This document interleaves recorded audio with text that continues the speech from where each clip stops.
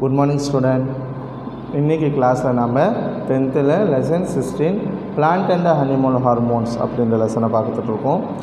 Last கிளாஸில் நம்ம anterior pituitary அப்படின்னு சொல்லக்கூடிய அடினோ ஹைப்போஃபைசிஸில் growth hormone thyroid stimulating hormone adrenocorticotropic hormone gonadotropic hormone அப்படின்ற நாலு ஹார்மோனை பற்றி பார்த்தோம். அதோடய ஃபங்க்ஷன்ஸ் என்னன்றதை பார்த்தோம். இந்த கிளாஸில் நம்ம லாஸ்ட்டு ஒன்றா இருக்கக்கூடிய ப்ரோலாக்டின் அப்படின்ற பால் சுரக்கும் ஹார்மோனை பற்றி இந்த கிளாஸில் நம்ம பார்க்க போகிறோம் சரி ப்ரோலாக்டின் பிஆர்எல் அப்படின்னு சொல்லுவோம். PRL is also called lactogenic hormone this hormone initiate development of mammary glands during pregnancy and stimulate the production of milk after child birth இந்த ப்ரோலாக்டினை நம்ம லாக்டோஜெனிக் ஹார்மோன் அப்படின்னு சொல்லுவோம். அது மட்டும் இல்லாமல் இந்த ஹார்மோன் என்ன பண்ணுது? இனிட்டியேட் ஆரம்பிக்குது. Development of mammary mammary gland மெமல்ஸில் இருக்கக்கூடிய அந்த பால் சுரப்பியோட வளர்ச்சியை தூண்டுவிக்கக்கூடிய ஹார்மோன் இந்த ப்ரோலாக்டின் ஹார்மோன். அது மட்டும் இல்லாமல் and stimulate the production of milk பால் உற்பத்தியை தூண்டக்கூடியது. ஆஃப்டர் சைல்டு பர்த் குழந்தை பிறந்ததுக்கு அப்புறமா பால் சுரப்பியை தூண்ட வச்சு பாலை வெளிக்கொண்டு வர வைக்கிறது. இந்த ப்ரோலாக்டின் அப்படின்ற ஹார்மோனோட ஃபங்க்ஷன் சரி இதில் ஒரு மோர்டோனோ கொடுத்துருக்காங்க. என்னென்னு பார்ப்போம்.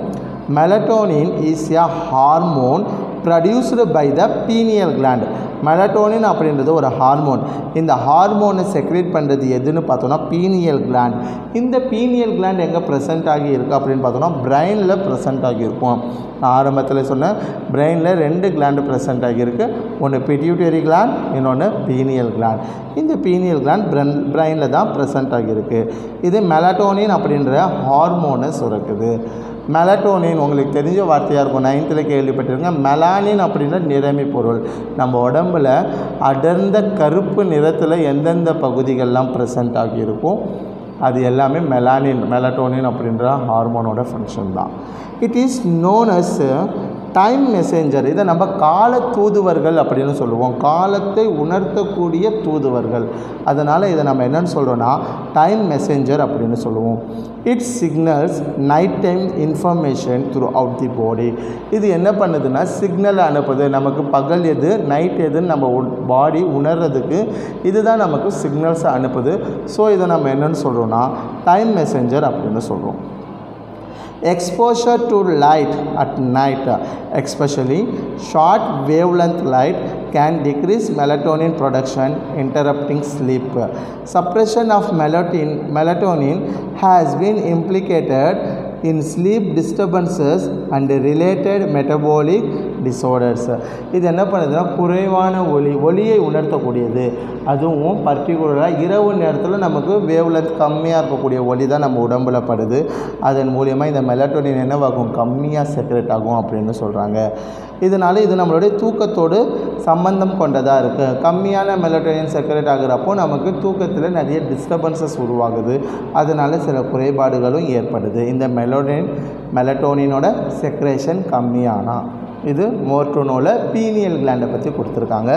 இதோட நமக்கு அடினோ ஹைப்போபைசிஸ் அப்படின்னு சொல்லக்கூடிய ஆன்டீரியர் பிட்யூட்டரியோட ஃபங்க்ஷன்ஸ் முடிஞ்சுது.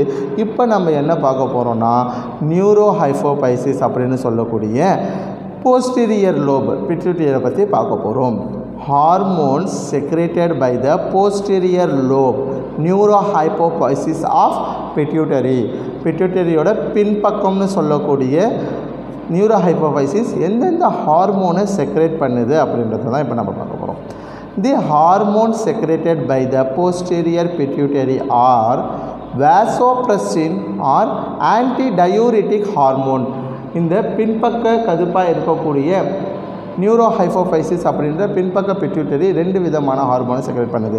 அதில் ஒன்று வேசோப்ரெசின் நல்லா ஞாபகம் வச்சுக்கோ வேசோப்ரெசின் அப்படின்னு சொல்லக்கூடிய இன்னொரு பேர் என்னென்னு பார்த்தோம்னா ஆன்டி டயூரிட்டிக் ஹார்மோன் இன்னொரு பேர் ஆன்டி டயூரிட்டிக் ஹார்மோன் இன்னொன்று ஆக்சிடோசின் இன்னொன்று ஆக்சிடோசின் வேசோப்ரஸின் ஆக்சிடோசின் இந்த ரெண்டு ஹார்மோனையும் தான் இந்த நியூரோ ஹைப்போபைசிஸ் செக்ரேட் பண்ணுது.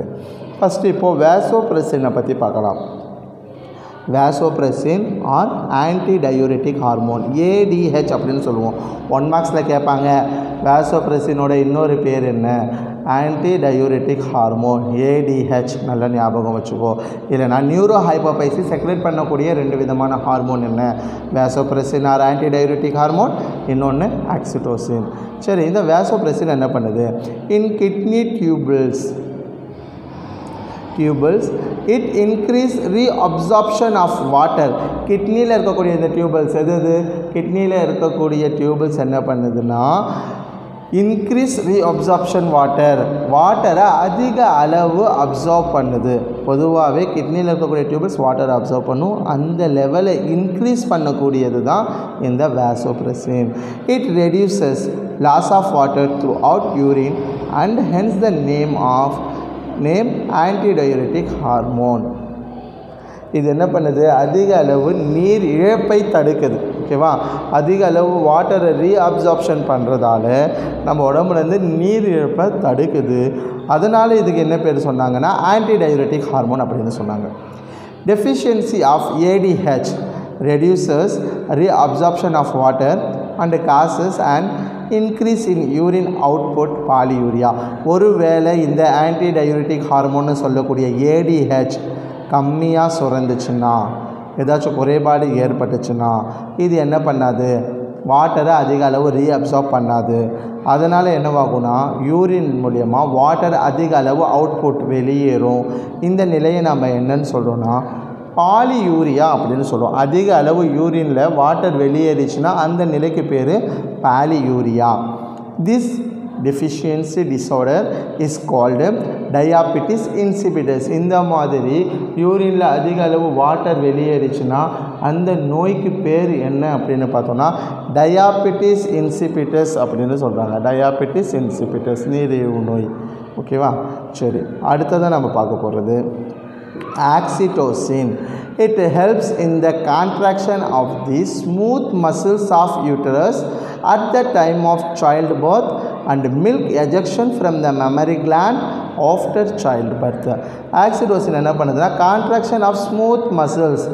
நம்மளுடைய இடுப்பு எலும்பு இருக்குல்ல இடுப்புக்கிட்ட இருக்கக்கூடிய யூட்ரஸ் அப்படின்னு சொல்ல கருப்பையோட மென்மையான தசைகளை சுருங்க வச்சு at the time of child birth குழந்தை பிறப்பின் போது ஈஸியாக வைக்கிறது. குழந்தை பிறப்பை ஈஸியாக வைக்கிறது எதுன்னு பார்த்தோம்னா அங்கே இருக்கக்கூடிய ஸ்மூத் மசில்ஸ் யூட்ரஸில் இருக்கக்கூடிய ஸ்மூத் மசில்ஸை சுருங்க வைக்கிறதுன் காரணமாக.